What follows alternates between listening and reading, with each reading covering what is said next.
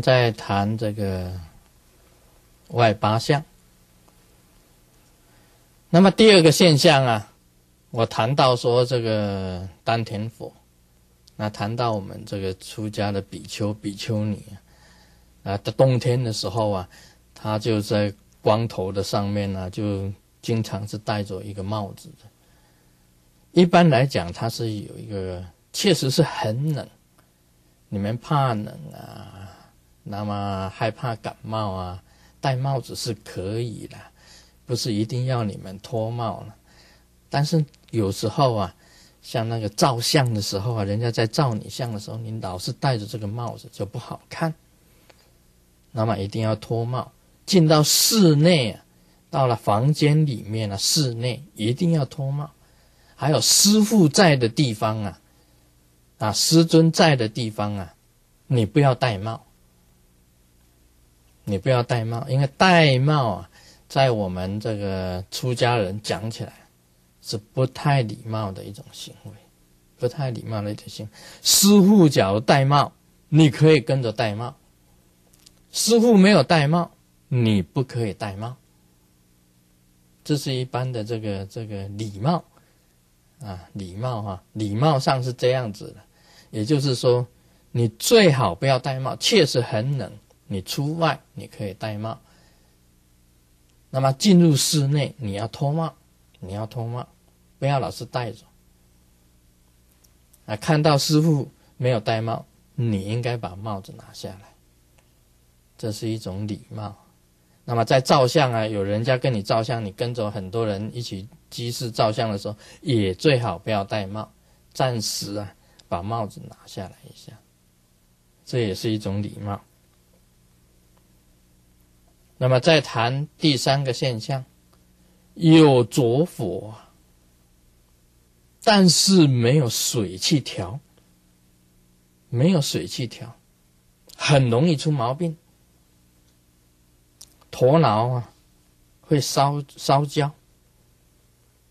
眼睛会红，牙齿啊，牙床会红肿，牙齿会痛，会流鼻血，会头晕，会脑胀，这个都是啊，你升起着火。啊，升起着火，但这个火啊，并没有跟水互相调饮。并没有跟清凉的这个明点互相调饮的一种现象，所以有的时候啊，人家修着火啊，会修到哇晚上没有办法睡，精神非常的好，没有办法睡，是因为你佛本身升起来，但是呢，你这个水没有下降，这有原因的啊，甚至于啊，嘴巴很干，很干燥。啊，全身温度很高，这种现象啊，都是着火升起的现象，但是没有水去调饮。那第三个现象啊，是属于清凉的，也就是说，你必须要应用这个明点的清凉的水，去溶解这个浊火，二者互相调和，保持一种。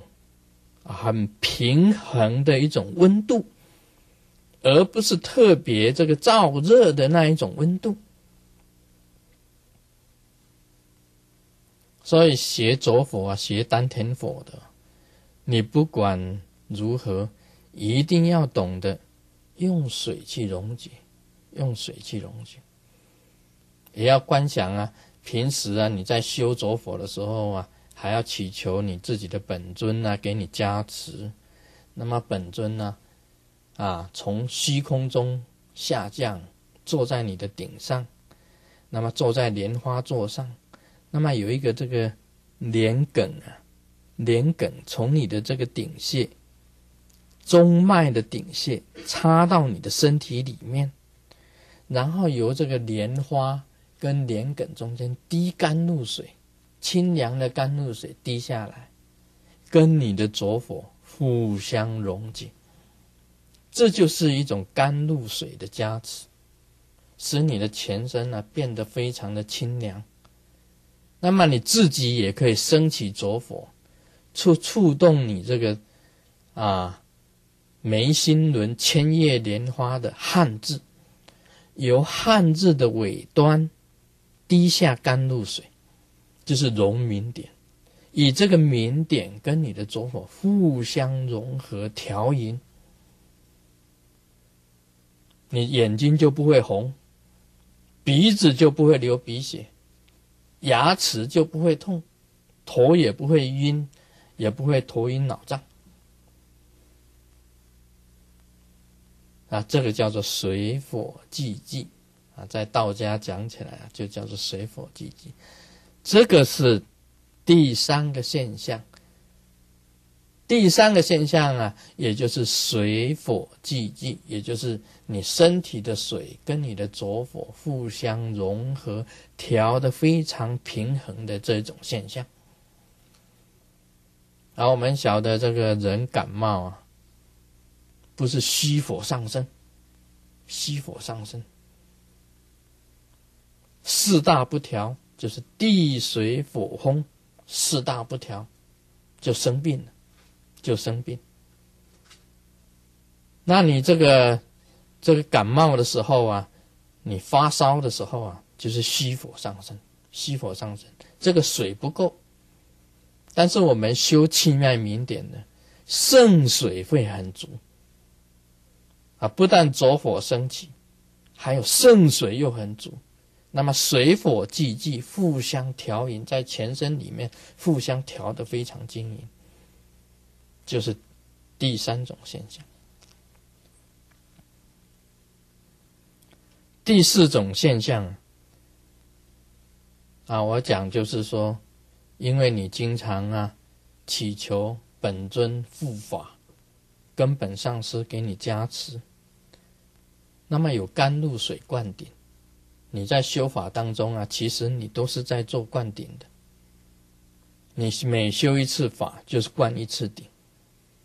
就法留在你身体，那么你的脑海会非常清明，不会糊里糊涂的。记忆力啊，应该会增强，记忆力会增强，会越来越强，而不是记忆力越来越糊涂。而且呢，你的理解力啊会越来越强，你的脑部啊都非常的清明，不会忘掉东西。很清楚明白，对事物啊，对每一件事情，在你面前呢，你都能够啊分析的非常清楚，观察力、理解力、记忆力啊，种种脑部的一种力量很灵敏、很清楚、很明白的现象。所以你修气脉明点呢，你在修行呢过程当中。你会产生这一种现象，这个是第四个现象。